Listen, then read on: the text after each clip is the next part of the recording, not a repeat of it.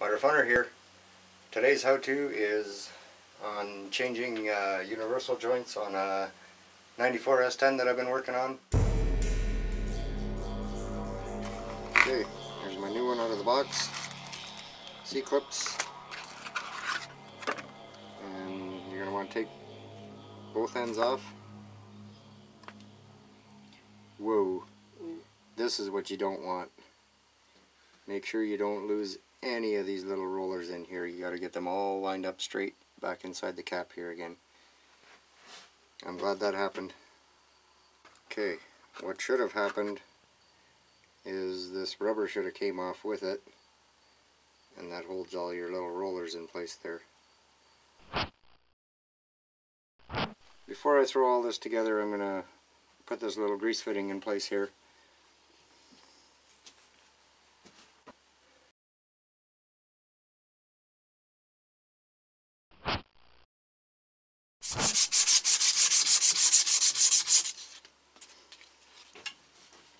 While you're assembling this, if you happen to shove this part of the shaft into the seal too far, you could bugger up the seal if this isn't smooth enough. That's why I always clean this off. Something long. This one for sure is something long. Okay, well, I don't like the fact that this happened, but uh, it's probably a good thing that it did when it did. Okay, this is all tight. The side's tight, and this clip doesn't line up yet.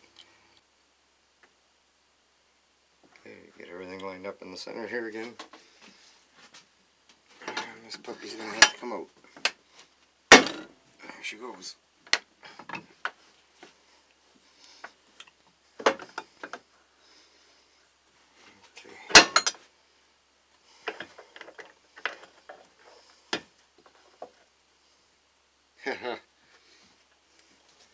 Just as I suspected, a little one stuck in the back there. So if you run into this problem, keep an eye out. Make sure that you don't force that thing in there. Little critter fell in the back there. Alright, well, the C-clip will come nice and handy. Okay, got it uh, lined up nice and straight in there. Just push it back into place with your finger.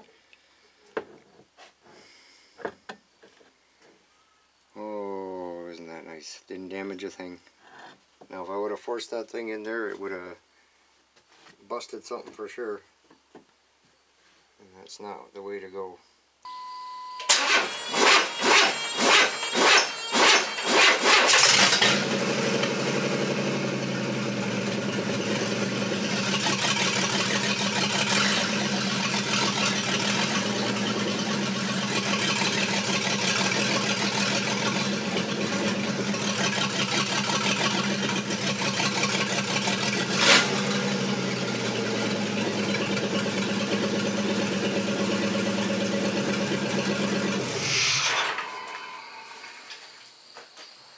So, thanks for watching, and subscribe if you like, and please hit like if you like.